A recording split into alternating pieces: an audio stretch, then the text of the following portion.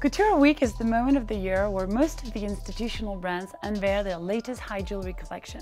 But before speaking about them in details, let's talk about those you've probably never heard of. On top of the list comes Statement. It's a Parisian brand launched earlier this year with the concept of solely setting diamonds on a silver mounting with an edgy approach to jewelry design. They're super modern and minimalistic, a bit rock and roll with a touch of Game of Thrones. And the brand's first collection is technically making a statement, so to speak. On a more educational level and only available for 48 hours inside the Museum of Les Arts Déco, we were able to see Rubeus, a tiny but mesmerizing exhibition of the largest alexandrite stone ever discovered on the surface of the Earth.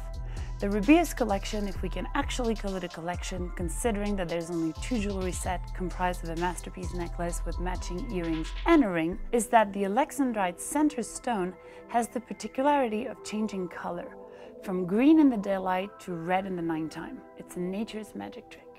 Swarovski, who made the entire reputation in designing costume jewelry collections, unveiled their first line of precious jewelry using exclusively lab-grown diamonds and colored stones in addition to natural gemstones. The British designer Stephen Webster, who's famous for his implication in jewelry sustainability and ethical luxury, supporting lab-grown stones, has collaborated with Swarovski in designing a capsule collection very much in line with his own brand DNA.